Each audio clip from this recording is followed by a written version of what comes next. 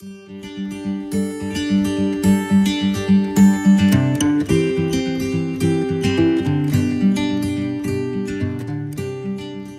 everyone, I am Professor Anish Vora and I welcome you all in this video lecture.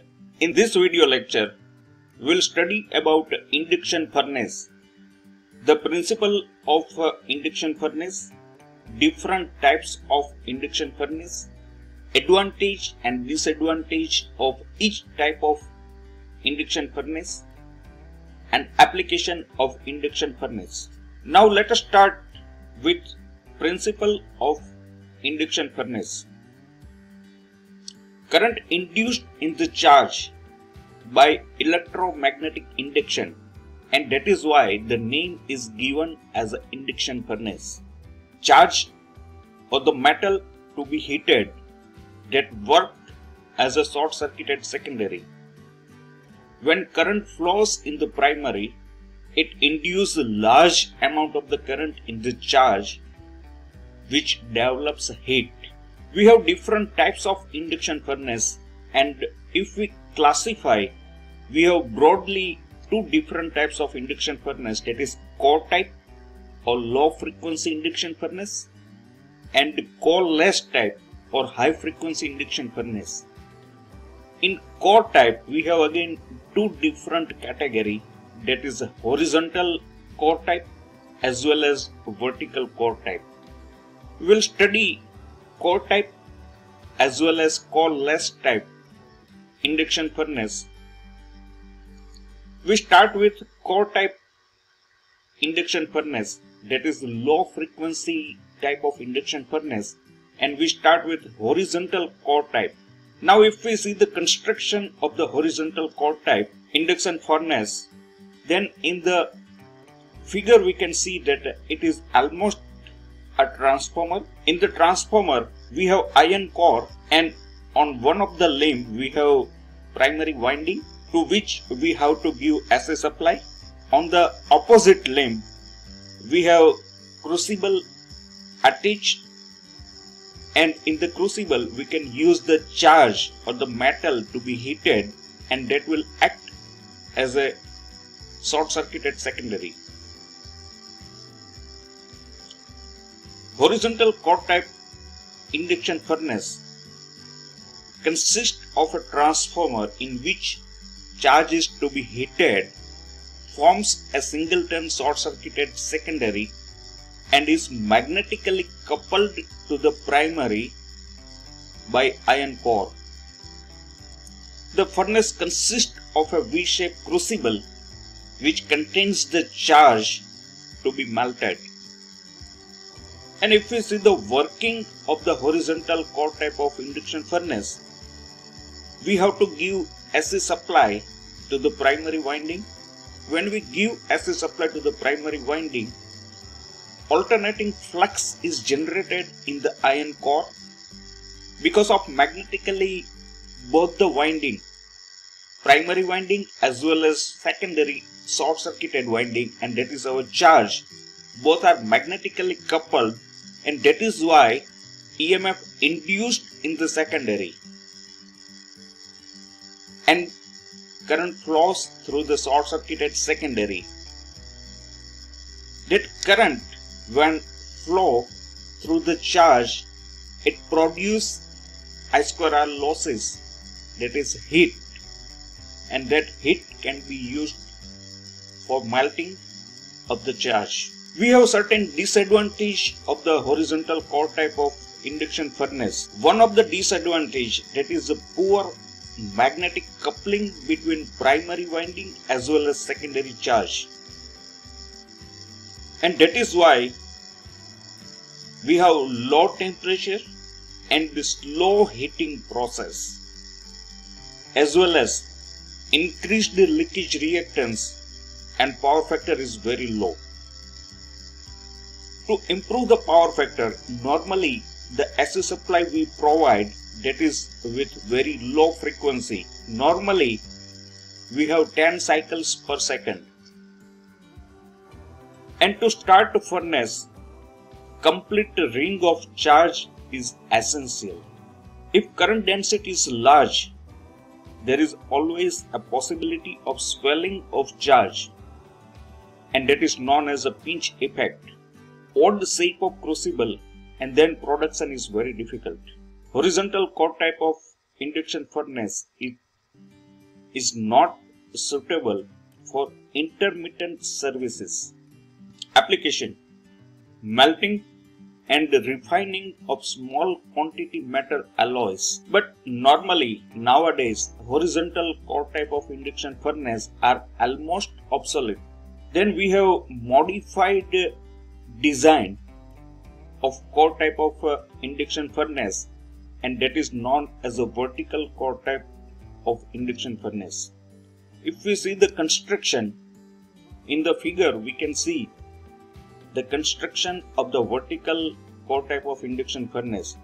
We have vertical V channel in which we have charge. In the V channel we have fire bricks as well as a refractory material that is refractory lining. Here we have charge. Primary winding is provided. The furnace is also known as a Ajax Wyatt furnace and it consists of vertical crucible instead of horizontal type of crucible for the charge and because of its uh, shape V shape with the smallest amount of charge also the short circuited secondary can be possible. The shell of the furnace is of heavy steel. The top is closed by an insulated cover which can be removed for charging. And we have trap door is provided to pour the charge in molten position. Working is almost similar the molten matter is kept circulated around the V crucible by convection current. The V channel is so narrow that even a small quantity of charge keeps the secondary circuit closed. The tendency of the secondary circuit to rupture due to pinch effect is counteracted by the weight of the charge in the crucible. So pinch effect can be avoided in the vertical core type of induction furnace. We have certain advantage over a horizontal core type of induction furnace. Small quantity of charge is sufficient to start the furnace because of V shape. Pinch effect is not observed. Proper mixing due to stirring effect. Power factor is high. Efficiency is also high.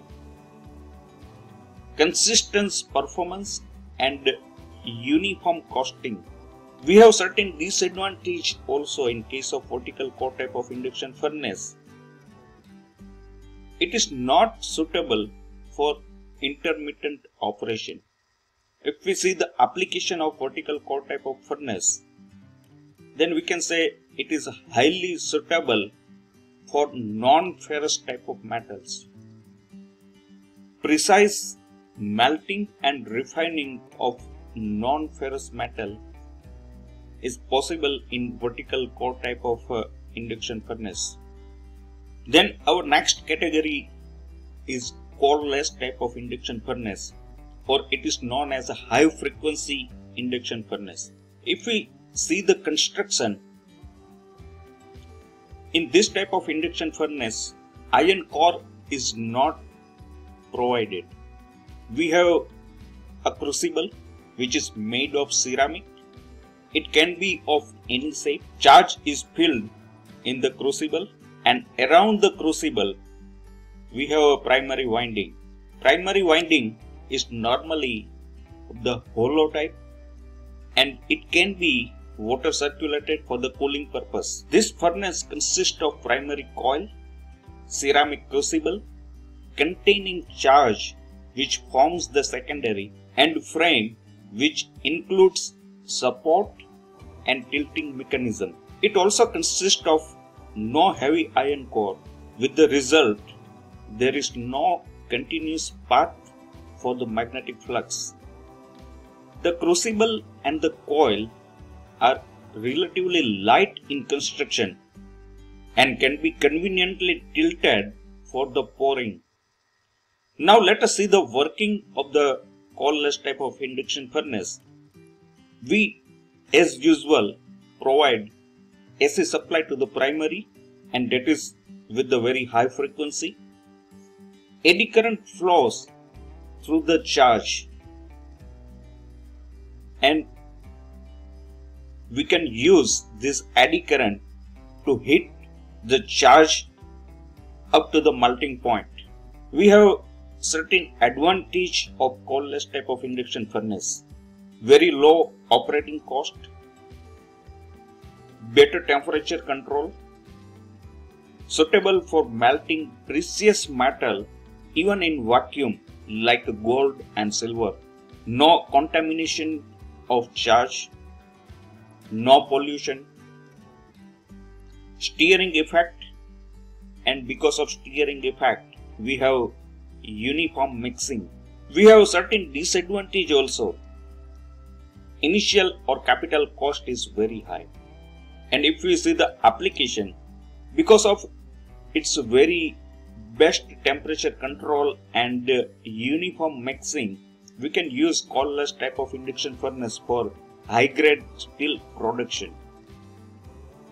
We can use coreless induction furnace for small size steel alloys also and melting of precious metals. We always use coreless type of induction furnace. Thank you for watching my video. Keep watching. Thank you very much.